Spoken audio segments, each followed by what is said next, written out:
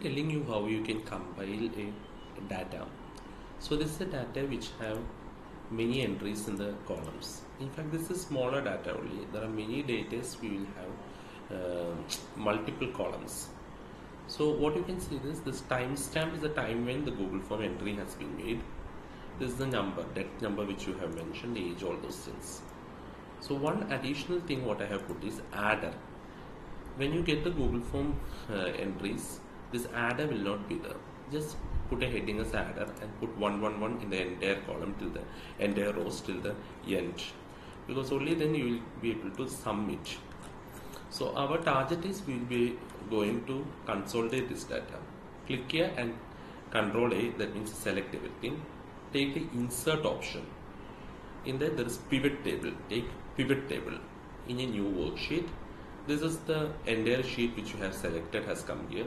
Click OK. Now you can see in the right side there are the column names has appeared here. Take this age group and put it in this box.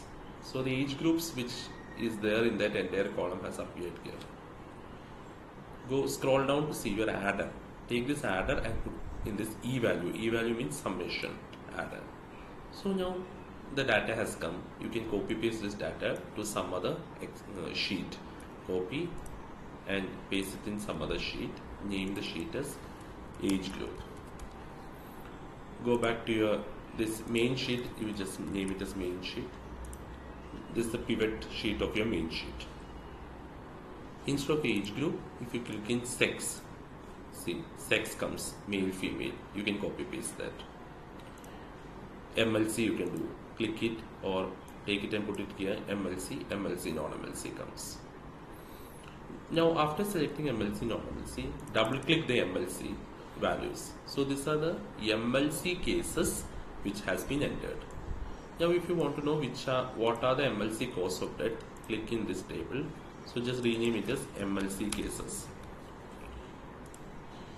Click here select select everything insert again insert a pivot table for the MLC cases okay.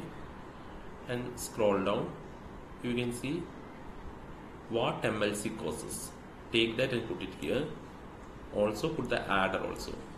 Now you can see the MLC causes of death has appeared here. You can copy paste that okay.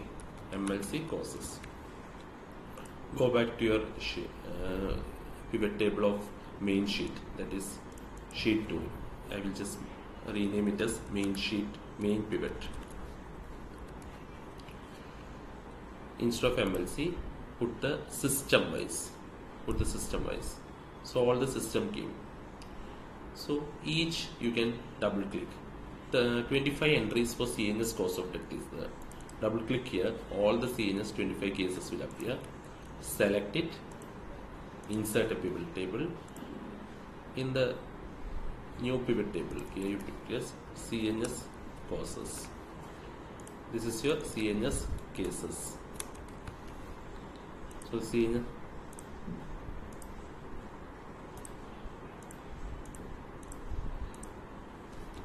CNS cases. In the CNS causes pivot table just take it select this put it in this box put the adder here in the summation value. So all the CNS causes has come. So based on this you can make your presentation of the consolidated value. So here you see is CVA ischemic stroke brainstem CVA so when you make the PowerPoint you can combine this two as one.